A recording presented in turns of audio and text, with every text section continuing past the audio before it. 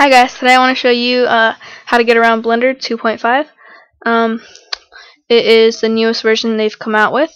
It's a beta, so it has a few bugs, but uh, it's pretty good overall.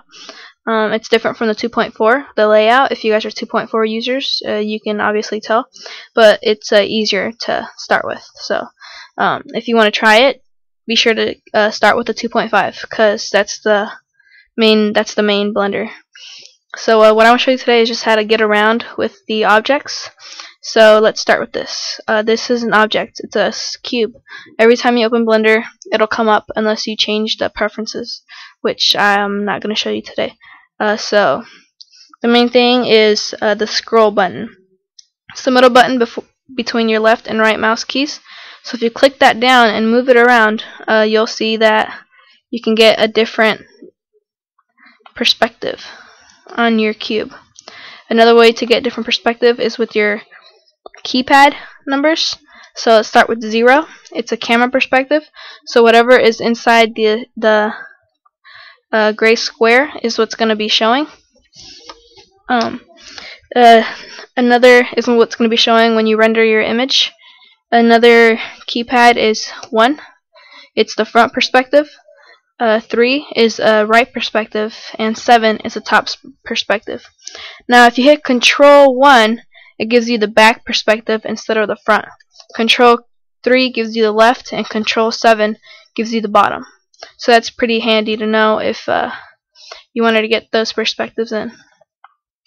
So let's start with what these objects are. This is your camera. This is what this is uh, what's going to be filming um, your animation or your image. So uh, let's get out of that. This right here is your light source. The, the light shines on this and uh, you can move your light source to give it shadows depending on what you want. Um, so let's start with some hotkeys. Uh, three fundamental hotkeys to know are is R.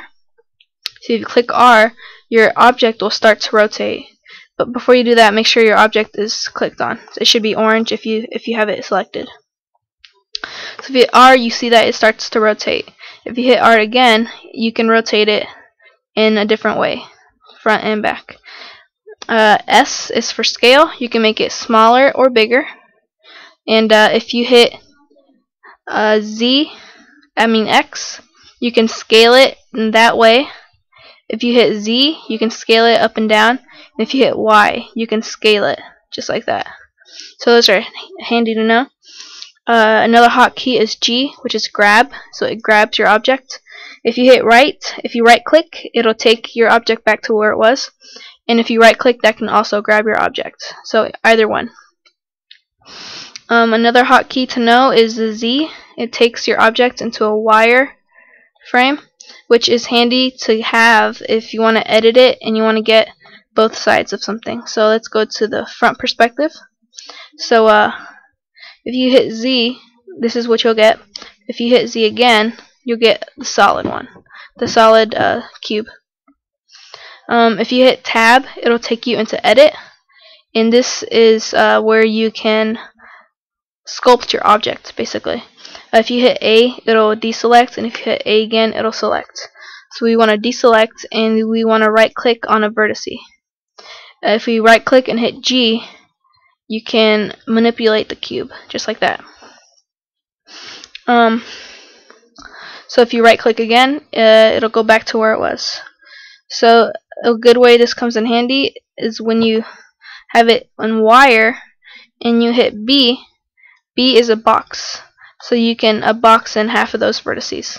If you delete that by clicking X, you uh, click on uh, vertices and you're just left with that uh, face. So if you want to go back to how it was, uh, click Control Z. If you liked it better how it was, click on Shift Control Z, and it'll go back. So, but we want to have our whole cube.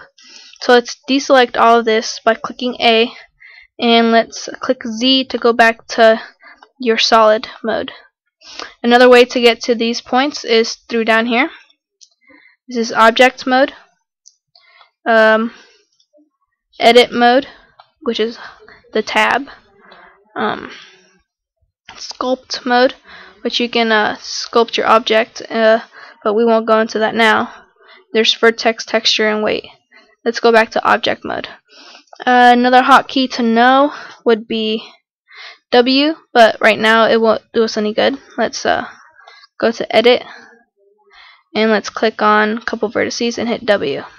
It'll give you the object, the menu, and you can choose from what you, whatever you want to do.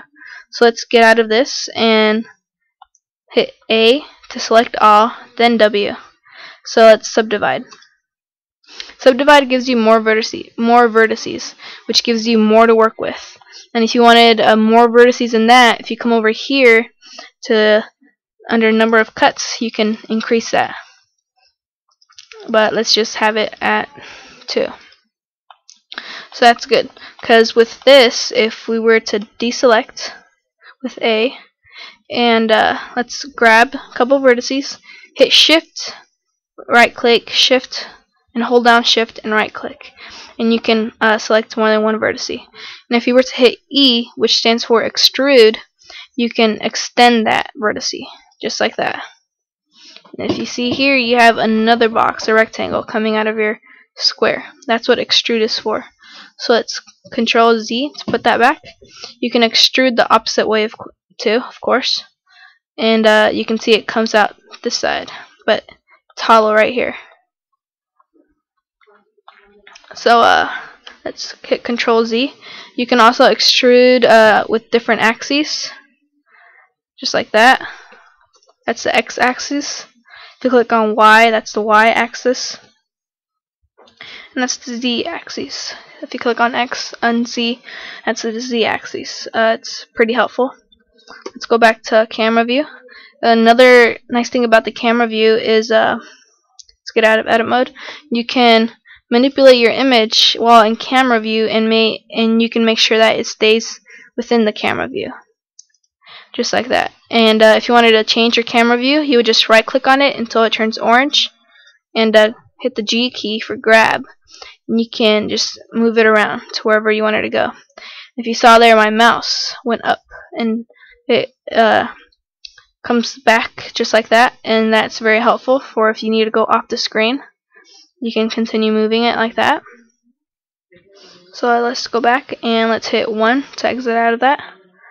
Uh, scroll to change our perspective.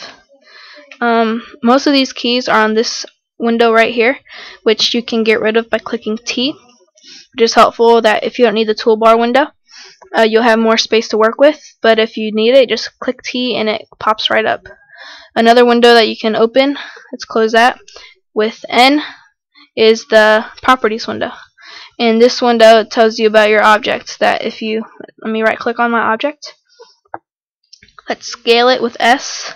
If you see right here, it'll tell you what the scale and the dimensions are as you move it. If you pay attention to that, and that's helpful. You can also uh, click on it and make your own dimension.